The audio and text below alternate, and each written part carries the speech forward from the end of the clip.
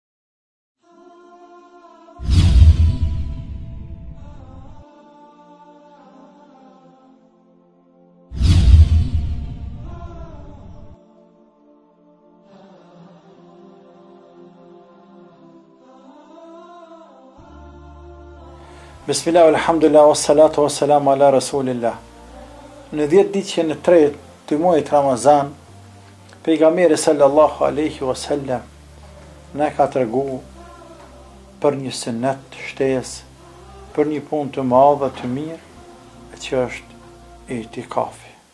Çka do të thotë me qëndruar muslimani brenda në gjami, një një njërën për gjamiave të muslimanve dhjetë ditët e fundit të muajit Ramazan. Dhjetë ditët e fundit të Ramazanit, në ditën e nëntëmbëdhjetë para perëndimit të diellit, kur hyn nata e njëzet, derisa ta falë Bajramin me nejt, me përkushtu ndaj Allahut të Madhëruar, me shtu intenzitetin e punës së mirë, të ibadeteve dhe të adhurimeve ndaj Allahut Azze ue Xhel. Kështu ka vepru pejgamberi, alejhi salatu ue selam, dhe kështu kanë vepru edhe shokët e tij, mas tina, dhe kanë vazhduar muslimant të qëndrojnë në itikaf që katërmbëdhjetë shekuj radhazi deri tek ne sot e kësaj dite. Falë Zotit, edhe populli jonë gjatë vite, gjatë viteve të fundit ka filluar të vetëdijesohet bajagi mirë, dhe kanë filluar të ngjallin edhe këtë sunet, i cili për mos me thonë gati se ka vdekur tek populli ynë. Me ringjallë këtë sunet e me qëndru itikaf, apo me hy n'itikaf nëpër xhamia.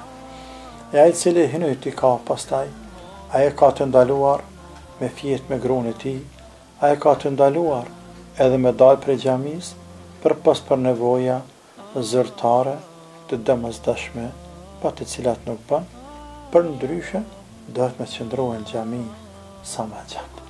Dhe gjatë qëndrimit në xhami m'u marrë vetëm me punë të dinit, vetëm me punë të ahiretit, vetëm me punë të mira, por jo edhe me punë të dunjasë, por jo edhe me punë të liga.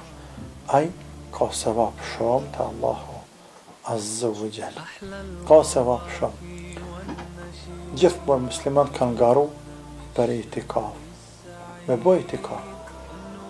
Nëse s'e bën gjatë tanë jetës, bile një herë n'jetë, dy herë, tri herë. Ma shumë ma pak, me bo itikaf. Itikafi është edhe meditim. Është meditim. është njëri ju M'u veçu, veç me Allahun Azze ue Xhel, m'u largu prej dunjasë, bile dhe prej familjes, e m'u marrë me gjynahet e veta, m'u marrë me sevapet e veta, me jetën e vet, me të kaluarën e tij, me tashmen e tij, dhe me kqyr për t'ardhmen nëse ka jetë, si me vepru. Itikafi është një rigjenerim, është një ripërtrirje.